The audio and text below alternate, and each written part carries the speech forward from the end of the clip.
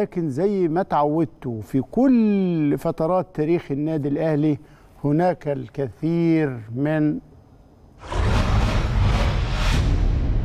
الشموع الحمراء. الأمير عبد الله الفيصل رئيس شرف النادي الأهلي واحد من اللي ليهم تاريخ كبير جدا في النادي الأهلي. نشوف هذا التقرير.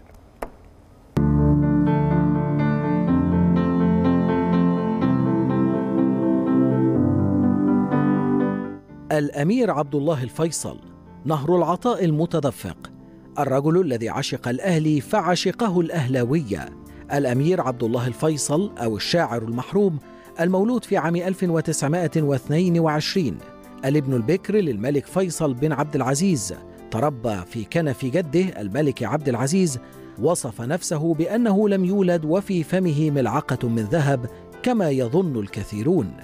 اهتم رحمه الله بالقراءة والثقافة منذ صغره فكان يقرأ في الأدب والتاريخ والسياسة. أما الشعر فكان يحتل مكانة خاصة لديه. تغنى بكلمات الأمير الراحل عدد من كبار نجوم الأغنية والموسيقى العربية مثل أم كلثوم وعبد الحليم حافظ ونجاة الصغيرة وغير هؤلاء. بدأت علاقته بالنادي الأهلي في نهاية الثلاثينيات حيث كان يتابع انتصاراته وتوطدت العلاقة بينه وبين القلعة الحمراء في الأربعينات وقام بزيارة الأهلي في يونيو عام 1952 وقد سأله الصحفي المعروف كمال الملاخ عن أحسن الأندية الرياضية من وجهة نظره فأجاب على الفور النادي الأهلي فقط لا غير. وحرص الأمير على تمويل ودعم أنشطة النادي الأهلي ومشروعاته بالتنازل عن نصيبه في عدة شركات لصالح الأحمر. وقام بإبرام العديد من الصفقات حتى أصبح معشوقا للجماهير الأهلاوية.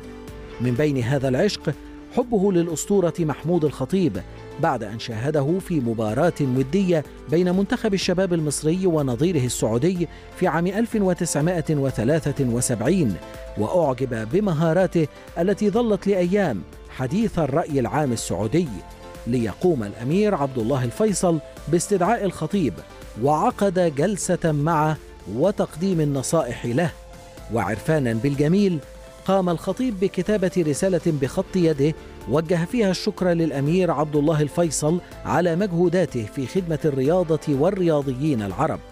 وفي اليوبيل الذهبي للنادي الأهلي شد العندليب الأسمر عبد الحليم حافظ من كلمات الأمير عبد الله الفيصل أغنية زين النوادي. وتعبيرا عن الامتنان للأمير عبد الله الفيصل منحه مجلس إدارة النادي الأهلي الرئاسة الشرفية وأطلق اسمه على واحد من مشروعاته العملاقة وهي الصالة المغطاة بالنادي الأهلي فرع الجزيرة. كان للأمير دور بارز في النهوض بالحركة الرياضية في السعودية.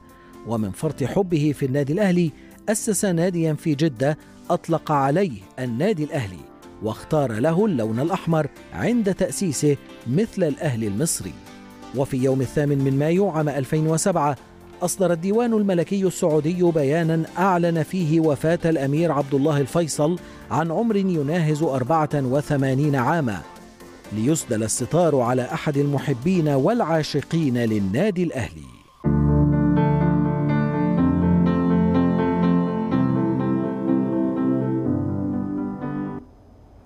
لا قصة حب وعشق للنادي الأهلي قصة الحقيقة يعني تتاخد نموذج ومثل. لأن ده عشق مجرد. مش عايز حاجة من النادي الأهلي غير بحب وحب مجرد وكان يأتي في كل مناسبة وشاهدته أكثر من مرة في النادي الأهلي وكان على علاقة وثيقة جدا بقيادات النادي الأهلي وهقول لكم سر صغير كده في لحظات الخلاف اللي كانت بين الكابتن صالح والفريق مرتجي أدت إلى استقالة الكابتن صالح و و و وما جه الكابتن صالح الذي أنهى هذا الخلاف في لحظة عندما التقى بالكابتن صالح وكان يسير بجواره الفريق مرتجي وقال لهم يا جماعة سلموا على بعض. إن الاثنين توقيرا واجلالا له في ثانية سلموا على بعض وانتهى خلاف ما كانوش يعني مبرر يعني. اما يعني كناش نتمناه. كان له مكانة خاصة. وهو زي ما اتقال كده أول واحد آه، يعني الشموع ال- الحمراء لا ده مصباح مصباح علاء الدين.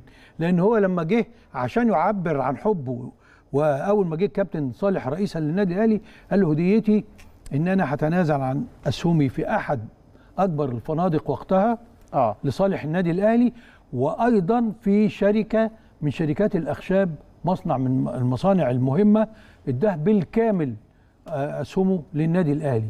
لا زالت من أصول النادي. أيوه بقى آه. أصول دخلت على أصول النادي على طول مباشرة واسهمت في إنعاش ميزانيته هكذا كان يحب الأهلي وأعتقد إن كان له دور في موضوع آه، أهلي جدة تيمنا باسم النادي الأهلي.